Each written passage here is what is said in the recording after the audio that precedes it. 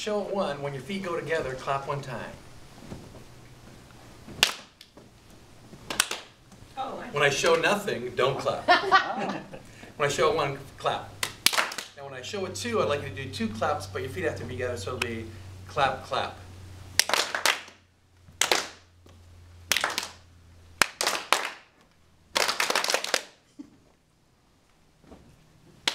So I do that for half an hour. And they're like, no. So I did that for about 30 seconds, and how about let's march in place?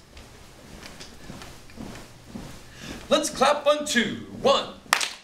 Let's clap on four. One, two, three. Let's clap on four. One. Let's clap on two. One. Let's clap on three and five. One. Let's clap on three and five. One. Lovely. And then I, of course, try to trick them. And then when they get better, the next level is on the end of three. One and two and three. On the end of five. One and two.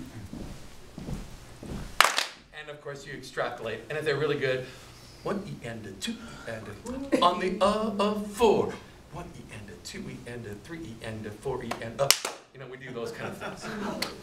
So those are a couple of like simple physical ones. And then of course there's the copying games that you all know, which is basically Simon Says. So as silly as that sounds, they're like, oh. and it works, They love it. works great. So those are some of the ones that I was doing. Does that answer? Yeah, Thanks, Dan. okay, thank you.